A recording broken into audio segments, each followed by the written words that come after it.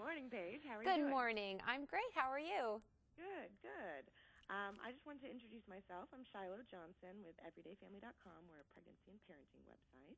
Wonderful. Um, and we wanted to talk to you today a little bit because this week is National Painting Week. Yes. And there has been a new study that says that two in three homeowners are planning a painting project in 2013. Um, would you mind telling us a little bit about this survey and what sort of changes people are making to their homes this year? Well, isn't that exciting? People are wanting to paint finally, um, and paint color, not just paint, not just paint like taupe, but actually Yeah. paint color, which is fantastic. Um, it's great news. It's music to my ears, and I'm so happy that you know all of these design shows over the years have had such an impact on on people. Well, it all started with trading spaces, in my opinion. Yes, that was my first. in my in my opinion, you are right. I do think that um, Trading Spaces was a huge catalyst, uh, certainly for that genre of television.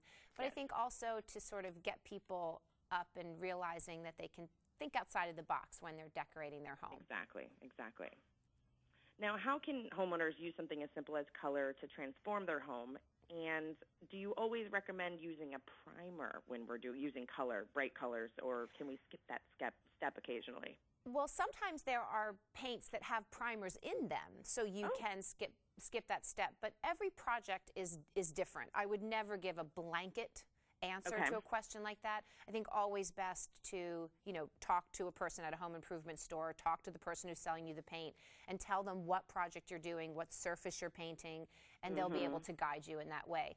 But there are so many different ways that you can use color to brighten your home paint is a great way. And you know i've teamed up with sherwin williams to tell people all the great ways that they can use paint. You know they're just ex- as excited about this survey as me of course because they I'm love that people are wanting to do color in their homes. So it's it's really great. I mean, Now- painting your walls is an easy, easy way, and it's obviously the most cost effective. You get the Yes. most bang for your buck if you paint your walls. Definitely. Well, and, and there are other things you can paint. I know my husband and I are considering painting our old bathroom countertops and, and cabinets because I they're love formica. that. That is that's fantastic. that's fantastic because yes, I mean nowadays in a way we've we've come so far with design that painting walls is just could be boring. Like you got to paint Yes. something else. Like you know you can paint like you said um, your counters or uh, pieces of furniture or Yeah. sometimes if if you're timid you might just paint an accent like your trim or a Mm-hmm. banister or something like that. Now, how about painting ceilings? I've always heard pros and cons to that. the ceiling is the fourth wall to your or the fifth wall to your house or to your room.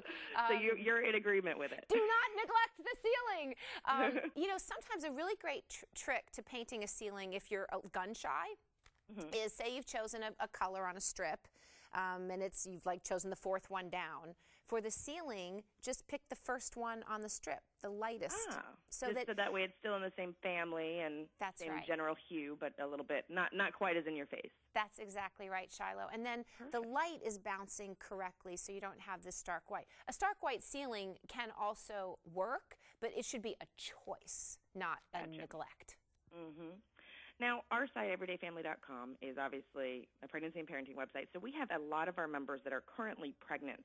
Um, do you have any tips or advice about painting while pregnant? Are there certain products that have lower fumes or non-toxic that they should be using? Well, I, I, I'm working with Sherwin Williams, and I happen to know that they do have. Uh, eco-friendly paint uh, harmony this one perfect. here is that. And anytime you have questions about that you can go to ftc.gov and all of the information and regulations are there. And then you can check when you buy your paint and make sure that they meet and exceed those regulatory demands. Perfect. So, um, with this being National Painting Week, why is this specifically a good time for homeowners to tackle their painting projects? Well, this is the second annual National Painting Week, and it's a really Ah. great time. Uh, one, because it's spring. I mean, let's face it, if you're going to be painting a buffet in your driveway, you don't want it to be winter or in the you know hot heat Yeah. of August. um, temperate uh, weather is a great time to make change. It makes shopping easier. It makes everything easier. True. And a great time to um, to start with National Painting Week is that you can go to nationalpaintingweek.com. All during this week, you can go on the website, and all these bloggers are writing about their projects and what they did, and that can really help give you inspiration. Yes, yes, that sounds like a great place to visit. It's Um, wonderful. okay. Well, and is there are there any tips that you can offer people that really just, um, you know, they're just they're dragging their feet, right? You know, we've been talking about doing this for the last year, and Yeah. how do you just get off your bum and do it? It can be really difficult to get started. It's one of those easy things to procrastinate because it's not urgent. Uh, I think it's urgent, but it's easy for people to not think that it's urgent. You know, sometimes just creating a mood board like the one that I have here, this is a really great example of how you can create your room on a small scale. And sometimes when you can visualize it, when you can see the end vision in Yes. the future, it's much more easy to get started. Um, it alleviates the frustration about how's it going to come out, will I like it? You know, you start putting the textures together, things that you like. Say you love the ocean, you know, this is a perfect way to get the blues and the greens together and the different the ocean. textures of the rope and the starfish. And then you'll feel inspired. Perfect, perfect. And one last kind of fun question: Are there any trending colors specifically this time, you know, this year that are going to be fun and you're going to be seeing a lot of? Uh, you know, mint green is a very trendy color right now. It, it actually acts as a neutral. I mean, you can put red with mint green, you can put orange with mint green, you can put blue with mint green. Uh, so that works well. But although I say that, I hesitate to lead anyone in the direction of just going with a trend. It's it's not like fashion. You know, you can just buy a you know cheap top at H&M or whatever and you wear it for a year and it doesn't matter. Also, you wear a different top every day True. your so home you go mood. to every day and so you know if you don't like greens don't paint your home green you know blues are every color of the rainbow is in nature and your home should rise up to meet you it shouldn't rise up to meet the trends that are out there somewhere right you're the one who has to I like that it. advice. That's great advice. Well, thank you so much for talking with us and sharing with our members. And I know you mentioned a couple websites there. Was there any, is there anywhere else that we can go to get more information on all this? Oh well, sure. I mean, HG, HGTV has great, you know, websites you can go to and check out all the, you know, design things. HomemadeSimple.com is a great place to go. I have a show called Homemade Simple, and we put uh, the directions and uh, supplies and everything you need to know for every single project we do on the show. So that's a Simple really is great what I like. to go to. So.